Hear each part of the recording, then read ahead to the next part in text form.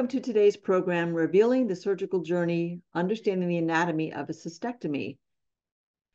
For many with bladder cancer diagnosis, the standard of care or best practice recommendations involve the intricate world of bladder removal surgery, known as a radical cystectomy. This is a surgical procedure that's designed to address high-grade non-muscle invasive or muscle invasive bladder cancer. In today's program, we're going to learn more about who might be offered bladder removal surgery and the difference between open and robotic cystectomy, as well as what's involved in this life-saving yet life-altering procedure. We're delighted to welcome urologist and scientist Dr. Matthew Mossanen from Brigham and Women's Hospital in Massachusetts. Dr. Mossanen is a, uro a urologist at Brigham and Women's and an assistant professor of surgery at Harvard Medical School. He's a graduate of the University of California, Los Angeles, UCLA, and did his medical and received his medical degree from the David Geffen School of Medicine at UCLA. In 2020, Dr. Mossanen received one of BCAN's Patient-Centered Young Investigator Awards to support his research. Well, thank you very much for that wonderful introduction, and uh, thank you to BCAN. This is a brief outline of what we'll talk about. Um, of course, if there are questions, we're happy to go over those at the end. Um, this talk could probably take three days to do it justice, but um, I decided to put it into four sections. So step one, we'll talk about the actual cystectomy, the operation, what, what it entails in terms of removal, so of the bladder and the nearby organs. We'll divide it into male and female. Um, We'll talk briefly about organ sparing and, and when you can consider that. And um, the difference between open and robotic cystectomy. The second part will be to talk about removal of lymph nodes, which is included in the cystectomy. And in step three, we'll talk about the reconstruction, uh, which happens after the bladder and the lymph nodes are removed.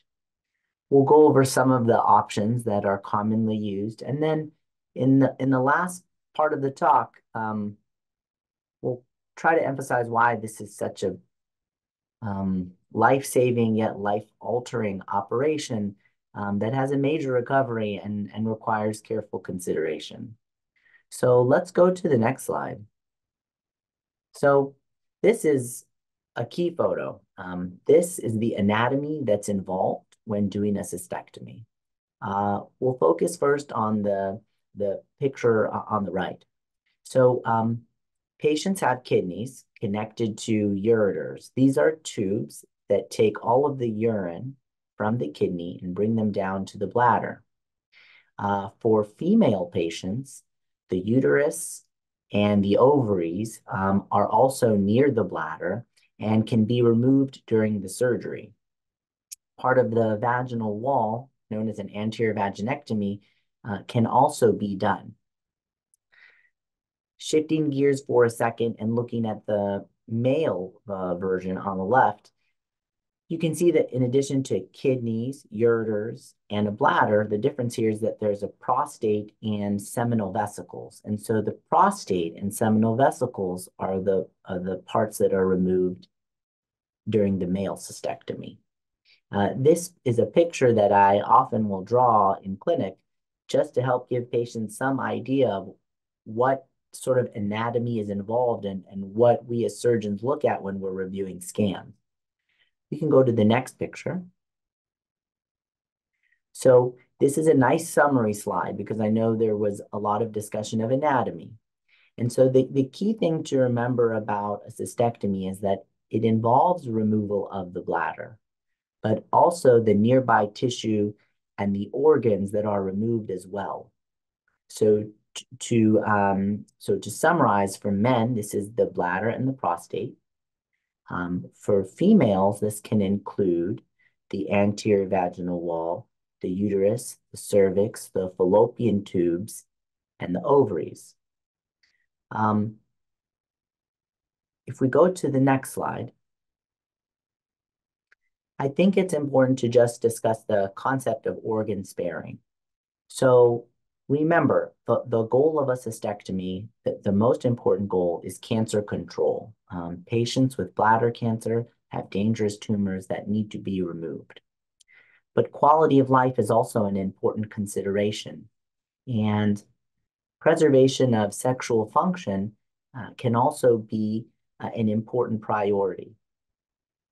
So considering each patient's unique case um, is the best way to bring up organ sparing. So if you're if you're talking to your surgeon, uh, she or he will decide if that's something that's relevant um, and if it's something that's safe above all.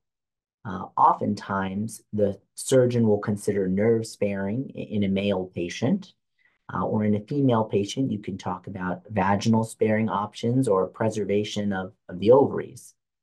It, it's important to highlight that the details of the tumor, uh, the patient's goals of care, and surgeon judgment are all factors that go into the decision if you're eligible for an organ sparing cystectomy. But as the patient, it's important to know that this is something you can discuss with your surgeon.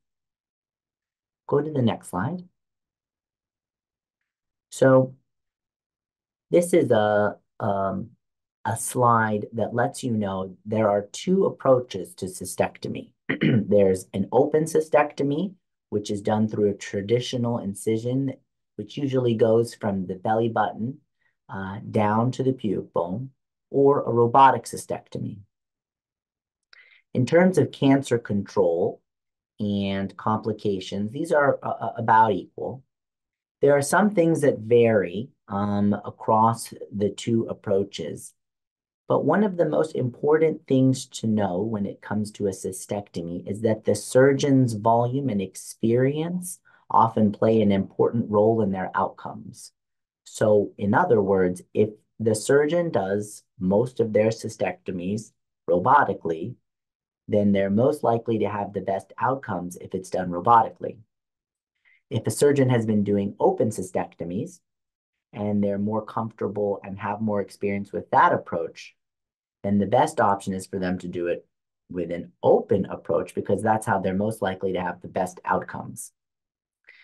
You can talk to your surgeon more about which approach is best for you because there are also other factors at play which might help impact if a patient should have an open or robotic surgery, such as prior surgery or prior radiation.